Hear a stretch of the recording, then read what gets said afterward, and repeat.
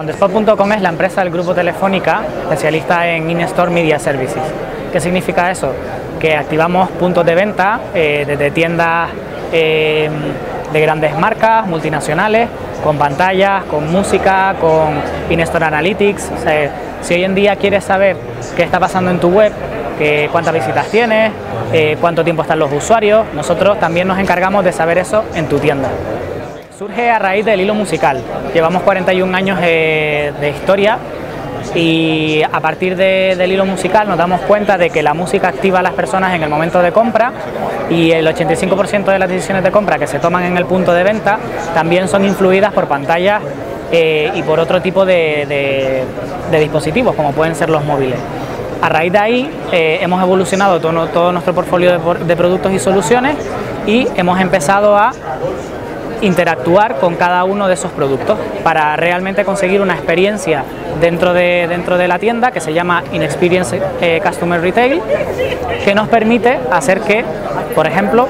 vendas un 38% más dentro de la tienda, pero también nos permite que el 85% de los usuarios sean impactados fuera mediante las apps que, tenemos sobre las promociones que tú estás dando en tienda, pero ya cuando están fuera. Por lo tanto, entran en la web e-commerce para comprar esos productos y siempre estás generando toda esa sinergia de, compra. Por ejemplo, imagínate que soy un consumidor que entra en una tienda en Gran Vía. He sido impactado por una de, las pantallas que hay en la calle entro y en la app de repente detectamos que estás dentro de, nuestra tienda.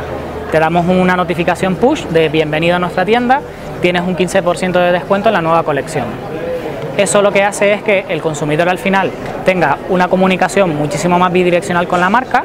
y nosotros centremos toda la comunicación en el punto de venta de la propia marca para no solo generar más ventas, sino también una experiencia de consumo mucho más cercana.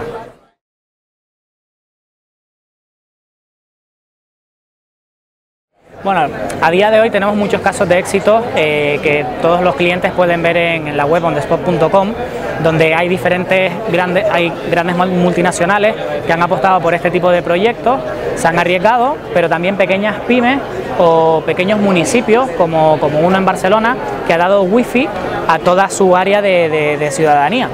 Entonces, estas grandes marcas que apuestan por impactar al usuario, no solo a través del móvil, sino con las pantallas y con la música, generan un triángulo de consumo bastante, bastante potente. Marcas como NH, como Loewe, eh, como Cepsa han apostado muchísimo por los contenidos en el punto de venta y están teniendo un gran volumen de éxito.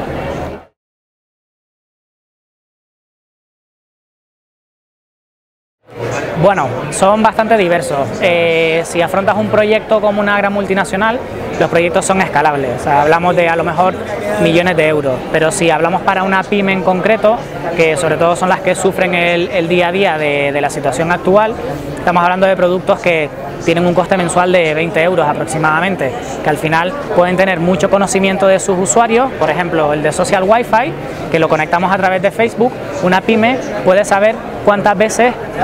a la semana entra una persona dentro de su bar o dentro de su peluquería o dentro de su, de su tienda y de repente puedes darte cuenta de que entra cuatro veces pero solo ha comprado una. Entonces empiezas a marcar tiempos de la decisión de compra de ese, de ese consumo, solo por 20 euros al mes tienes un montón de datos que son muy aplicables al negocio en el día a día.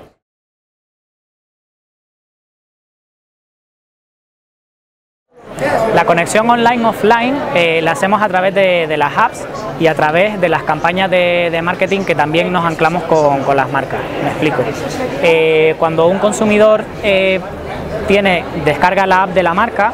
y incluimos nuestra tecnología de, inteligencia artificial, ese consumidor ya pasa a formar, parte de, a formar parte de una base de datos, de un CRM, en el que el consumidor puede elegir las promociones o podemos detectar directamente qué está haciendo en la pasarela de pago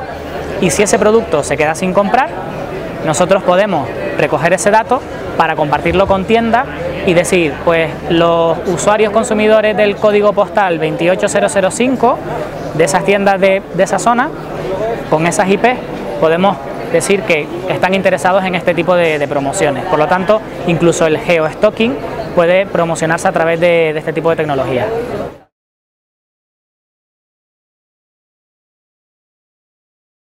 El siguiente paso es seguir evolucionando hacia el lado del social media, hacia el lado eh, del, usuario conectado y sobre todo del consumering, que es una tendencia en la que eh, la propia tienda se convierte en un espacio digital donde tú entras, estás logado ya con tu perfil de, Facebook, puedes interactuar, se te cargan contenidos alrededor de la marca y realmente esas promociones pueden ser cruzadas con las promociones que tienes en social media.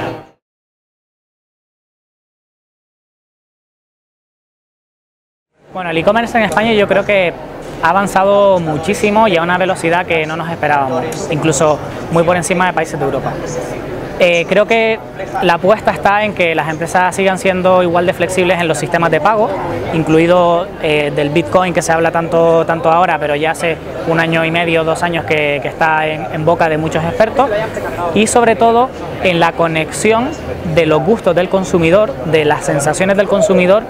que es lo que vive en el día a día, donde él toma las decisiones de compra muchas veces en el punto físico. Y esa parte es a donde tiene que evolucionar el social e-commerce, la conexión entre lo online y lo offline.